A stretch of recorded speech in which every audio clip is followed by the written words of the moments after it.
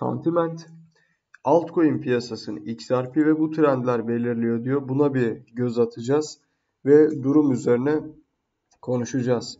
Sürekli gelişen kripto para dünyasında piyasa istihbarat firması Sentiment şu anda manzarayı etkileyen 4 önemli eğilim belirledi. Sentiment 13 e, Temmuz'daki patlamadan önce XRP ile alakalı çok sık uyarmıştı ve biz de biliyorsunuz bununla alakalı XRP'de e, yaklaşan fiyat patlaması ile alakalı çok fazla kere uyarmıştık. Nitekim ciddi bir patlama oldu.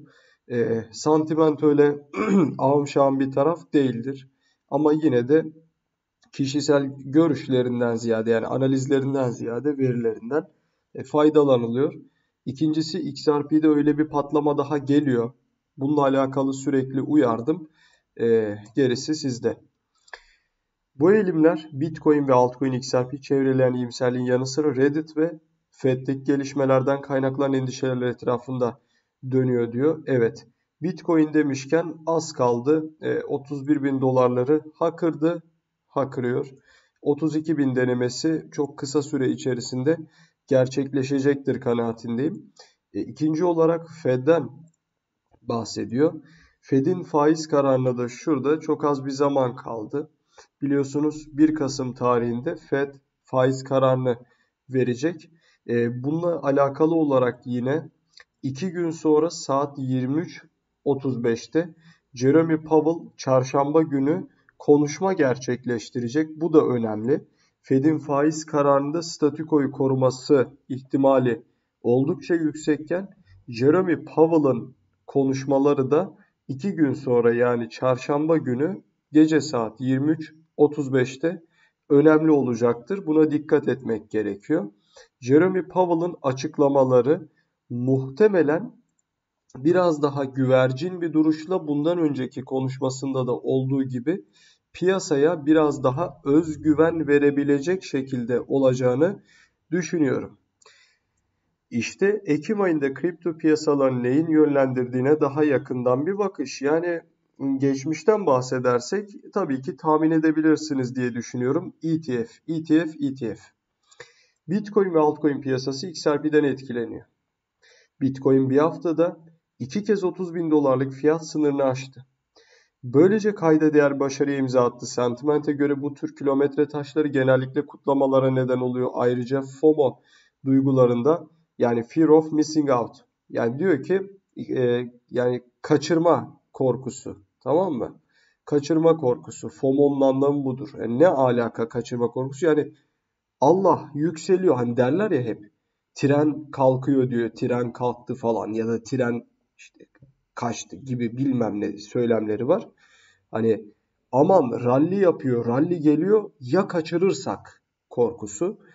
Ee, çok ciddi anlamda evet şu anda hakim. FOMO artıyor. Bununla birlikte aşırı heyecanlı bir kalabalığın bazen potansiyel bir altcoin zirvesini işaret edebileceğini ve ihtiyatlı imserlik ihtiyacını yansıttığını belirtmek önemlidir. Önemli bir gelişme olarak ABD Menkul Kıymetler Borsa Komisyonu cephesini gelişme vardı. Zira SEC, Ripple yöneticileri Brett Garlinghouse ve Chris Larsen hakkındaki suçlamaları düşürdü. Bu karar XRP piyasasını yeni bir yükseliş havası getirdi. XRP bu haber üzerine başlangıçta %10 oranında sıçrama yapmıştı. Ancak henüz daha geniş altcoin piyasasından ayrışmadı. Bu durum yatırımcıların yakından izlemesi gereken bir söylenti al haberi sat dinamiğine işaret ediyor diyor. Evet e, bu zaman dilimlerinde XRP tabii ki bir pump yapmış olmasına rağmen tam anlamıyla düzgün bir fiyatlandırma kaydedememişti. Dediği doğru yani.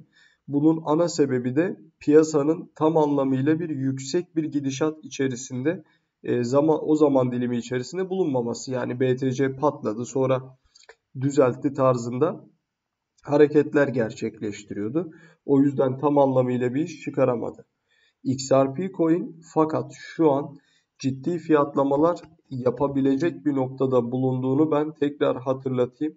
Özellikle bu günlük kapanışta 53 sent üzeri kapanışlar yapabildiği takdirde çok güçlü atılımlarla 60 sentlere doğru sıçra, e, sıçrayabileceği ile alakalı öncesinde de konuştuk.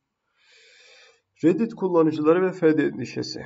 Reddit kullanıcılarının Moon ve Donut tokenları ile topluluk üyelerine bahşiş verme olanağı kaybettiğine dair son haberler kripto piyasası, kripto toplumunda endişelere yol açtı. Sentiment bu gelişmeyi çevreleyen tartışmaların tüm kripto e, piyasasını etkileyen FUD'a yol açabileceğini öne sürüyor. Abicim boş konuşmanın anlamı yok ya. Ne Reddit'i sen ne anlatıyorsun? Dünyanın her yerinde şu an ABD'de ETF'ler çıkacak. Adamlar Reddit'ten konuşuyor. Ne, ne yapayım Reddit'i? Moon ne? Donut ne? Bunun fiyatlar üzerinde olumlu bir etki yaratıp yaratmayacağını zaman gösterecek 8 Kasım'da altcoin projeleri Moon ve Donut resmi olarak kalkacak bu noktada. Olumsuz duygu durumundaki herhangi bir artış dikkatle izlenecek diyor.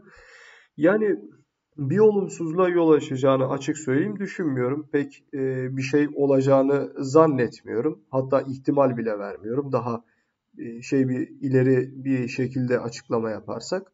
Dolayısıyla çok da bu şekilde e, düşünmenin anlamı olmayacaktır. Daha mantıksal ve düzgün şeylere odak olursak, daha fokus olursak daha iyi olur. Fed'in son zamanlarda şahin tutumu kripto yatırımcılar arasında endişe dalgalarına neden oldu.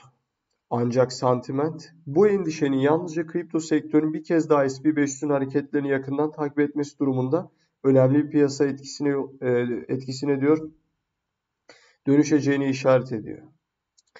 Şu anda kripto para birimleri kritik bir noktada. Zira küresel ekonomik belirsizliğin potansiyel bir sonucu olarak altının değerine daha yakın işlem görüyor diyor. E, altınla Bitcoin arasında son zamanlarda öyle aman aman bir korelasyon yok. Altındaki yükselişin BTC'nin işine geleceğine dair söylemler var. Yanlış. E, Bitcoin altından kaynaklı olarak yükselmez. İkisini de aynı anda katalize edebilecek unsurlar tabii ki e, olabiliyor, bulunabiliyor. Ama altının Bitcoin'e bir faydası olmaz. Sentiment ayrıca Fed'den gelen olumsuz haberlere yanıt da verdi. Özellikle 2022 boyunca ve 2023'ün başlarında görülen altcoin fiyat dalgalanmalarını anımsattı. Yani bu sektörlerin bir kez daha senkronize bir şekilde işlem görme olasılığına işaret ediyor. Bu durum piyasaların gelecekte birbirine bağlı kripto yatırımcıları için ilgi çekici sonuçlar doğru. Evet. Ya burada tabii ki altcoin sezonuna değinmiş gördüğünüz gibi doğru. E, altcoin'lerde de özellikle 2024'te bir toplu açılım olacaktır. İzlediğiniz için teşekkür ediyorum. Abone olup videoyu da beğenebilirsiniz. Bol kazançlar dilerim herkese. Hoşça kalın.